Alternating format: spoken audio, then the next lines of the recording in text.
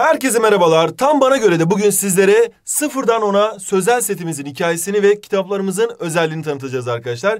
Biliyorsunuz ki bizim her kitabımızın bir hikayesi var. Sıfırdan ona sözel sette yer alan tarih, coğrafya ve edebiyat kitaplarımızın da daha doğrusu sıfırdan serimizin de gelin sizlerle hikayesini paylaşalım. Öncelikle biliyorsunuz ki set olduğu zaman daha avantajlı oluyor. Bunu öğrencilerimizden gelen bir istek üzerine hazırlamıştık ama sıfırdan serisi nedir? Sıfırdan ona tarih, coğrafya ve edebiyat kitaplarının normal herhangi bir konu anlatımlı kitaptan farkı nedir? Bunu sizlerle paylaşmak istiyoruz arkadaşlar.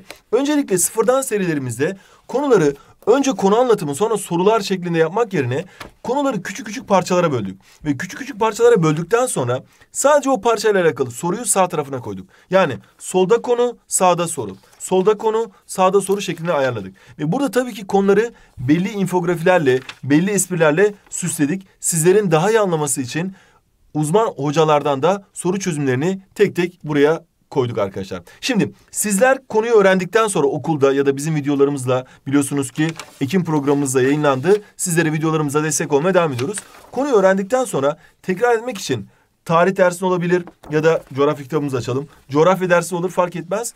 Konuları infografik bir şekilde, resimli bir şekilde, bilgeç bölümleriyle, süzgeç bölümleriyle daha iyi anlamanız için çok güzel bir konu anlatımı yapıyoruz. Sonrasında siz burada konuyu öğrendiniz ya, konuyla alakalı, konuyla alakalı soruları sadece burada mesela burada boyuna tipi, enine kıyı tipi, dalmaça kıyı tipi öğrendikten sonra buna benzer konular var. Yani eski konuları tekrar ettiğimiz sesler ileride geliyor. Böylece konu soru, konu soru şeklinde ilerleyerek hem coğrafyada hem edebiyatta hem de tarihte tabii biliyorsunuz ki sıfırdan ona sözel setimizin sayısal seti de var. Yani fizik, kimya, biyoloji ve matematik kitaplarının olduğu setimiz de var. Burada yine edebiyatta da yine Milliyetin Bakanlığı kazanımlarına, sınav sorularına uygun bir şekilde konu soru sizlere mükemmel bir kitap hazırladık. Burada sizin yapmanız gereken, öğrenmeniz gereken konuları küçük küçük parçalar halinde öğrenip ve hemen ardından da bunlarla alakalı sorular çözerek konuları pekiştirmeniz.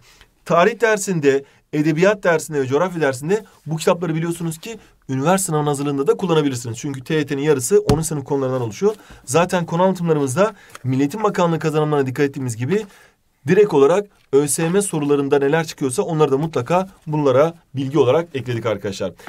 Dolayısıyla sıfırdan ona sözel setimizde hem 10. sınıf konularımız yani 10. sınıf yazılarımıza mükemmel bir şekilde hazırlanıyoruz. Hem de TYT sözel konularına az önce söylediğimiz gibi coğrafyada, tarihte, edebiyatta TYT'nin yarısını 10. sınıf konuları oluşturuyor arkadaşlar. Güzel güzel öğreniyoruz. Konuları infografilerle öğrenip sıfırdan pekiştirmiş oluyoruz arkadaşlar. Bütün bu güzel kitaplara, bu güzel sete Tonguç Mağaz'dan aşağıdaki linkte koyduğumuz Tonguç Mağaz'dan ya da Tonguç kitapçılarından ulaşabilirsiniz. Şimdiden derslerinizde başarılar arkadaşlar.